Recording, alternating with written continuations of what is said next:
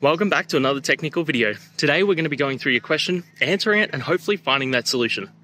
Guys, remember to stay just a little bit crazy like me, and hopefully you get to that resolution. Now, let's continue on to the video.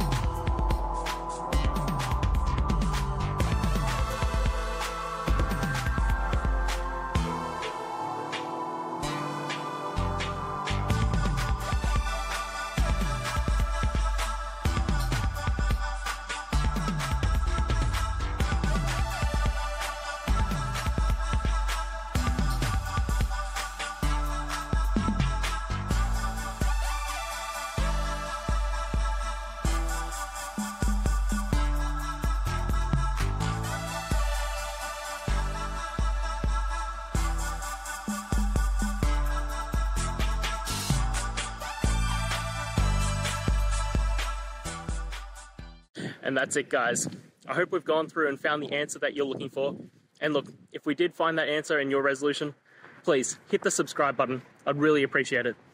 Now, until the next time you need technical videos, I hope you have a good one.